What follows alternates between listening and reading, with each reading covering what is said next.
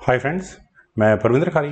Friends आज की हमारी गेम बर्लिन जर्मनी में चल रही आर्मेडन ग्रैंड फाइनल की है। यहाँ गुकेश डी और वेस्ली सो के बीच में एक मुकाबला खेला गया। डी फोर के साथ यहाँ गुकेश ने शुरुआत की। वेस्ली ने यहाँ नाइट एफ़ सिक्स खेला। सी फोर हुआ देन हुआ G six G three C six bishop आया जी टू स्क्वायर पर then D five knight F three bishop G seven और इसके बाद आया दोनों साइड्स का castle King's Indian defence kind of thing में गेम ट्रांसपोज हो चुकी है। B three D takes C four B takes C four then C five pawn आगे पुश करना चाहिए।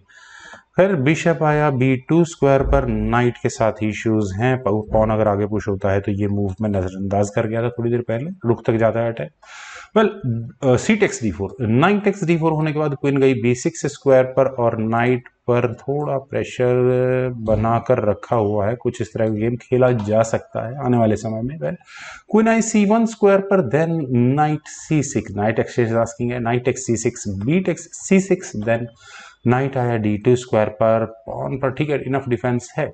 रुक डी एट देन बिशप आया सी थ्री स्क्वायर पर। फ्रेंड्स यहाँ इस पॉइंट तक पोजिशन इक्वल है। तो वैसली ने अपने बिशप को जी फोर स्क्वायर पर ले जाकर डायरेक्टली यहाँ इस पॉन पर अटैक बनाया है, लेकिन इस मूव को नजरअंदाज करते हुए गुकेश ने अपनी क्वीन को रखा ए थ्री स्क्वायर पर। यहाँ टारगेट क्या हो सकता है? बिशप ऐसे स्क्वायर पर जाता है जो क्वीन और रुक तक अटैक बनाएगा। लेकिन उसके बाद अपनी तरह के इश्यूज़ क्रिएट होते हैं, क्योंकि नाइट को कहीं ना कहीं मूव करना वो खैर। वैसली यहाँ इन सब बातों को देखते हुए आई मस्ट से रुक ई एट जैसी ऑप्शन ठीक थी, या फिर मुझे रुक डी सेवन भी बेटर ऑप्शन लगती है। पॉन पर भी इससे डिफेंस आता है और ऑब्वियस है व्हाइट का टैग इस पॉन पर तो है ही। लेकिन क्या हो अगर यहाँ बिशप टेक सी टू के लिए ब्लैक पहले चला जाए तो रुक बीच में लगेगा और तो और इसके बाद जैसे ही बिशप को हटाया जाएगा रुक की डायरेक्ट एंट्री यहाँ सीधा सेवंथ रैंक में हो चुकी होगी। मूव काफ़ी थे खेलने के लिए, लेकिन वैसे ने यहाँ नाइट को ई एट स्क्वायर पर रखा आस्किंग फॉर बिशप एक्सचेंज लेकिन बिशप एक्सचेंज यहाँ करने की ज़रूरत ही क्या है? अपर हैंड यहाँ गुकेश के पास है, क्यों? पहले उन्होंने हटाया अपना रुख जो कि क्विन पर अटैक बना रहा है क्विन को हटाना पड़ा, फिर बिशप गया ए फाइव स्क्वायर पर, और जो यहाँ इन्हें चाहिए था, वो अटैक यहाँ गुकेश को मिल चुका है क्विन को हटाया।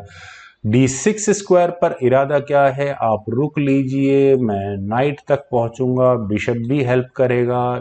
तो इनफ कंपनसेशन था यहाँ पर वेस्ली के पास। लेकिन पहले खेला गया सी फाइव क्विन पर अटैक बना। क्विन गई ई सिक्स स्क्वायर पर देन हुआ bishop takes D eight rook takes D eight होने के बाद नाइट पर अटैक तो है, लेकिन नाइट चला गया एफ़ थ्री स्क्वायर पर। और क्या यहाँ ब्लैक इस ई टू पॉन को ले सकता है? एक बार ज़रा देखते हैं कि क्विंटेक्स ई टू से क्या निकल कर आएगा। क्विंटेक्स ए सेवन अफोर्ड किया जा सकता है एग्जैक्टली exactly किया जा सकता है। बिशप टेक्स एफ़ थ्री अगर हो भी गया तो प्रॉब्लम्स होंगी। यहाँ पर ऐसा नहीं है कि एक एक्स्ट्रा मटेरियल यहाँ पर ब्लैक को मिल जाएगा, क्योंकि पहले यहाँ खेला जाएगा। रुक ई वन क्विन पर अटैक होगा। क्विन को हटाने के लिए यहाँ खैर बिशप पर डिफेंस ज़रूरी है तो क्विन को डी थ्री स्क्वायर पर ले जाओ, लेकिन ई थ्री तो कोई खास बेनिफिट यहाँ से नहीं मिलता है। क्विंटेक्स सी टू का बहुत बड़ा फ़ायदा नहीं होगा। खैर नाइट सी सेवन के ऑप्शन को पहले यहाँ पर वेसली ने चुना। क्विंटेक्स ए सेवन उसी नाइट पर अटैक बना। और आई मस्ट से ये नाइट कहाँ जा सकता है क्विन को हटाने के लिए? Knight B five was better option queen को हटाना पड़ता है उसके बाद। खैर, लेकिन नाइट डी फाइव की ऑप्शन को यहाँ पर चुना और यहाँ से इस नाइट मैन्यूवर का क्या रिज़ल्ट निकलने वाला है? मुझे तो यही मूव नज़र आता है रुख तक भी अटैक जाएगा। वेल रुक आया बी एट स्क्वायर पर asking for rook action rook F eight नहीं करने, आप ही करें.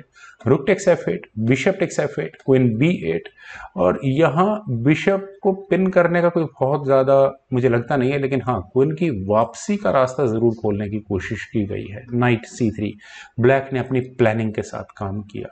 रुक आया इवन स्क्वायर पर. आई डोंट थिंक इस पॉन पर कोई डिफेंस ज़्यादा वर्क करने वाला था. लेकिन फिर भी मैं कहूँगा, वैसली के लिए वीक मूव है। अगर यहाँ क्विन सी फोर भी किया जाए, अपनी क्विन को हटाया जाए, इस पॉन पर प्रेशर बनाने के लिए तो भी ज़्यादा खास फ़र्क नहीं पड़ने वाला, क्योंकि व्हाइट यहाँ पहले एच पॉन को आगे पुश करके बिशप पर अटैक बनाएगा। आप कहेंगे कि knight x e two check किया जा सकता है वही नहीं, होगा नहीं। रुक से ले लिया जाएगा क्विंट एक्स ई टू होने के बाद बिशप ले लिया जाएगा। खैर, यहाँ पर पहले खेला गया नाइट एक्स ई टू वो भी एक चेक के साथ। आई मस्ट से इस चेक के साथ डिज़ाइन हो सकता था, लेकिन किंग के एफ़ वन स्क्वायर पर आने के बाद, आप यहाँ देखिए, इस नाइट पर इश्यूज़ हैं। नाइट ऑलरेडी पिन है ही। बिशप से अगर यहाँ वाइट का नाइट लिया गया तो प्रॉब्लम्स और ज़्यादा बढ़ जाएँगी। हाँ एक नाइट को सेक्रीफाइस करके चेक देकर अपने क्विन को बचाया जाए, वो एक अलग बात है, लेकिन वो वर्क करने नहीं वाली। यहाँ पर हुआ क्विन एफ़ F5 और क्विन के एफ़ F5 स्क्वायर पर आने के बाद नाइट की पिन को खत्म किया गया। आई मस्ट से यहाँ मैं कह सकता हूँ कि वैसिली ने कहा कि ठीक है, आपको नाइट लेना है तो ले लीजिए। मैं भी यहाँ आपका नाइट आराम से ले सकता हूँ। अगर यहाँ रुक टेक सी टू किया जाएगा तो जो एडवांटेज मेरे ख्याल से गुकेश के पास है, वो उनके हाथों से थोड़ा इक्वलाइजर की तरफ़ चला जाएगा। क्यों इक्वलाइजर की तरफ़ जाएगा? बिशप टेक्स एफ़ थ्री खेला जाएगा। अब अगर यहाँ बिशप टेक्स एफ़ थ्री किया भी गया तो क्विन टेक्स एफ़ थ्री और चेकमेट आपको नज़र आ गई होगी, या तो चेकमेट बचे या ये रुक बचा जाए। मतलब ओपन किंग पोजीशन हो चुकी होगी। और अगर यहाँ इस पॉइंट पर रुक को बचाया गया तो उसके बाद अलग तरह की problems queen takes g two check king takes g two होने के बाद queen d five check king g one queen takes c five game में कुछ फाइट बैक यहाँ ब्लैक कर सकता था, लेकिन यहाँ मैं कहूँगा मुकेश की शानदार कैलकुलेशन उन्होंने यहाँ अपनी क्विन को रखा ई फाइव स्क्वायर पर, और यहाँ इस मूव के बाद फाइनली वेस्ली सो को रिजाइन करना ही पड़ गया। करने का reason friends knight already pressure में है। नाइट को हटाए तो कहाँ हटाया जाएगा? नाइट के हटने के लिए भी जगह नहीं है। कोई एक्सचेंज की जाए।